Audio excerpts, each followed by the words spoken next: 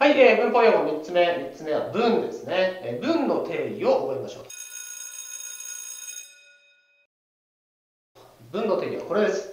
はい、ピリオドから次のピリオドの間ですね。英語の文っていうのは必ず、えー、最後に、これですね、ちょんっていうピリオドで終わります。で、新しい文が始まって、最後にまた必ずこれが来ると。なので、この定義で OK なんですね。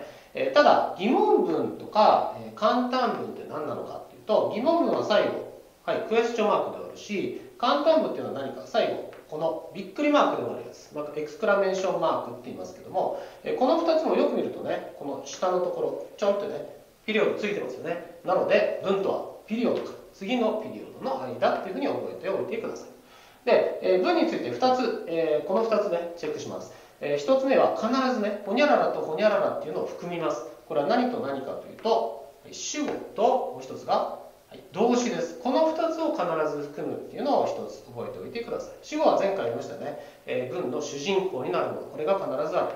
もう1つの動詞は次回やりましょうと。で、もう1つは命令文です。命令文ってどんな文かっていうと、こういうやつ。オープンザドアみたいな。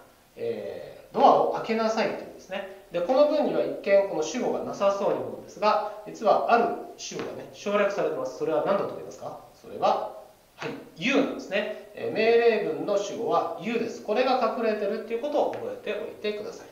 今回は以上です。ありがとうございました。